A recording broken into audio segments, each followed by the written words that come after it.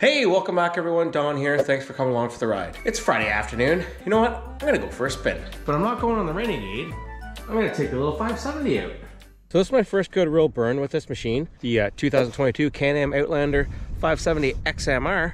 I'm gonna give it a little bit of a workout today. We've got 57 kilometers on it. So we're past the belt break-in period.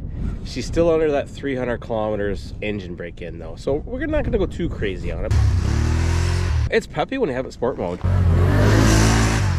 What's gonna be a really good test is this corner up ahead here.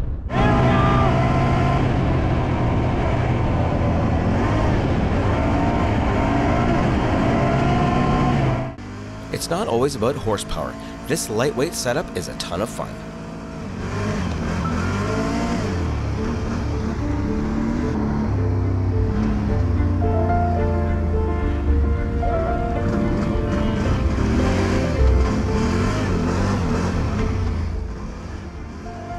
First impressions? These tires work well in the snow.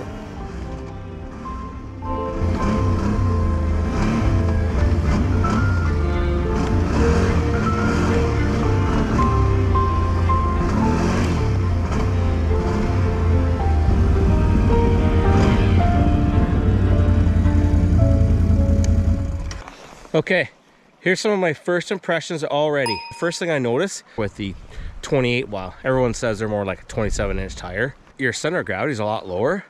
So uh, it doesn't feel like you want to tip over and you can really rail it around corners and you can really break the back end loose. But the first thing, my really first impression I wanted to say from the seat of the pants impression is the shocks. I just pounded it down uh, that rutty trail pretty good just to see what it would do. And it was great. So I have no doubt my wife's gonna have a, a pretty cushy ride when she rides this thing. Okay, next step, we gotta get up this big hill climb. All right, we're gonna need to give her the beans up the hill here. Hopefully it's not icy. Uh, definitely better put it in four-wheel drive now. Gonna need it getting up this hill.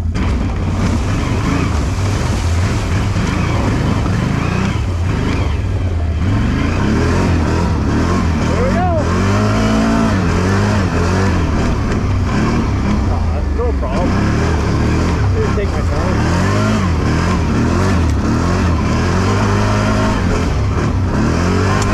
Whoa.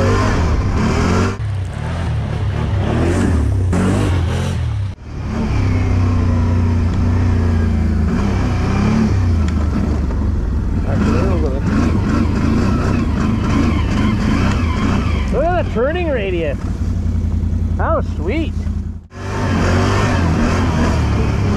Log.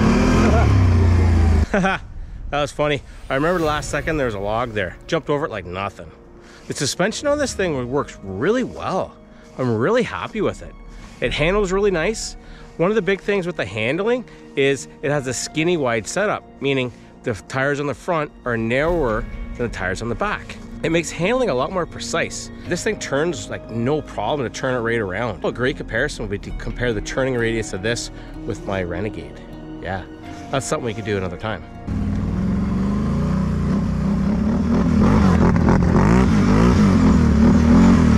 Wow, this feels so good.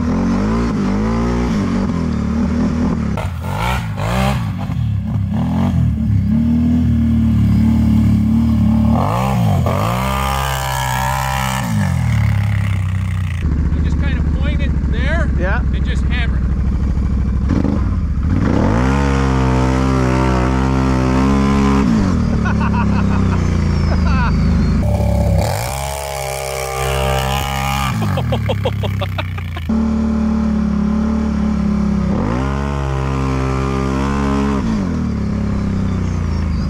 That's fun. The 1000 is so much more fun. Yeah, no one ever hops off a 1000 No. goes, man, you know what? I wish I had it really enjoyed that 570. Like that feels like you're sitting on a brick compared to that thing. It's like the seats are soft.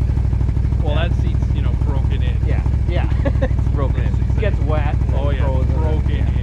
Now, don't get me wrong, this 570 XMR package is a great option, but once you experience the power of the 1000 engine, there really is no going back. I would highly recommend this package to just about anyone, whether you're going to hit lots of mud or mainly just stay on the trail.